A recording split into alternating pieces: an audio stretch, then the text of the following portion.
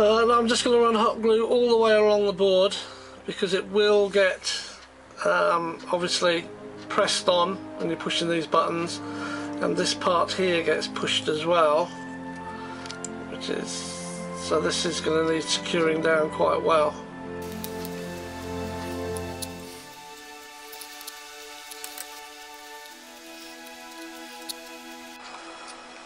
I'm leaving the front clear. Because the emitter has to be glued in there eventually although not just now. I think it's that way.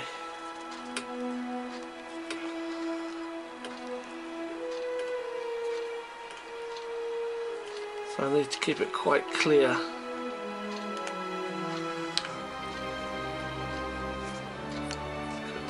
side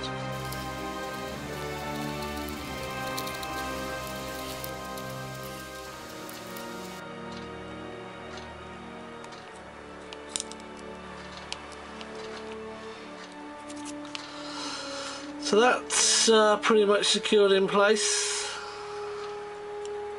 Now the thing with this piece is that it is free. It's not jammed anywhere, so it does move around. I'll have to see if this piece will uh, get the wires out of the way. Uh, it's quite good because the new kit comes uh, pre-wired. It's set up for the button batteries. Got a little on-off switch at the back, and it comes uh, with the wires on it.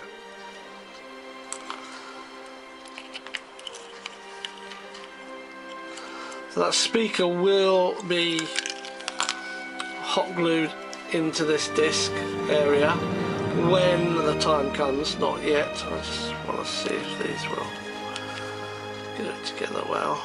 Now I've put hot glue everywhere. Yep, there we are.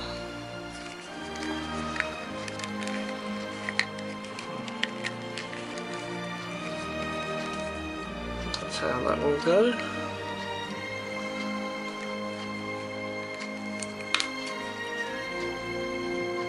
I'm happy with the lineup of these here.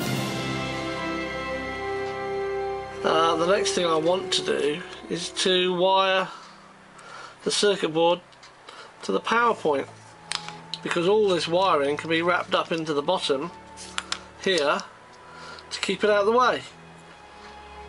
I have noticed that these parts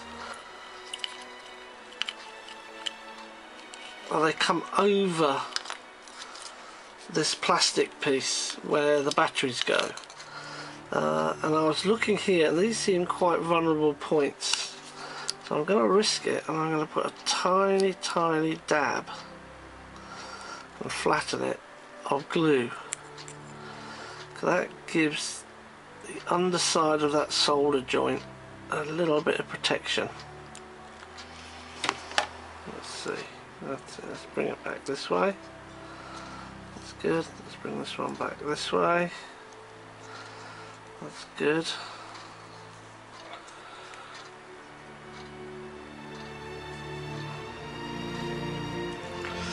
I was a bit worried that that, uh, that could break off there. Let's see if we can get this together. Wires everywhere. it's a fiddly old thing. Uh, I mean that's not in the right place, but I can at least get a get a feel for it. That's okay, that's good. Something I did at this end, this little micro switch has a pad it glues on and this had a bar across it. I noticed that if the switch was on the pad where it's supposed to be glued, just here, the terminals on the back of the switch got in the way of the battery. So I intend to move it forward and glue it down and make the switch part of the frame. Like that so it sits like that. And you can still get at the on off switch.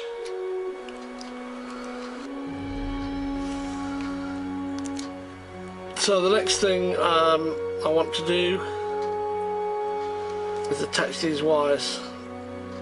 Now this yellow and red striped one happen to be the positive as this is on here. So I will connect those first want a little bit more than that. That's showing there.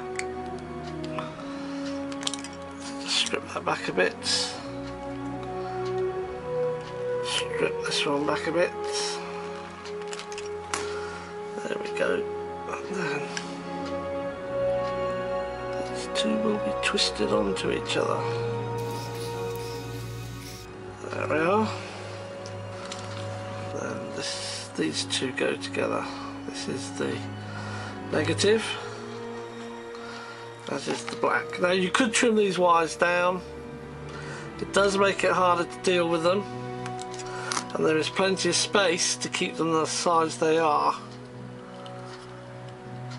inside the body. So that's uh, goes that way. Oh it flip around there let's try and keep these nice together. Twist these around.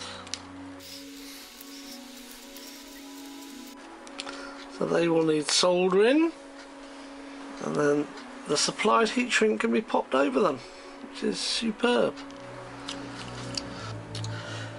So they're soldered together. So I'll put in the first cell in and then the second cell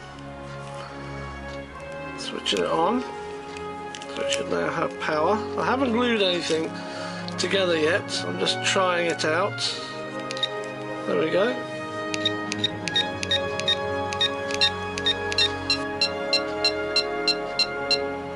Okay, I'm happy with that. And turn off. I think at this stage we shall glue it together.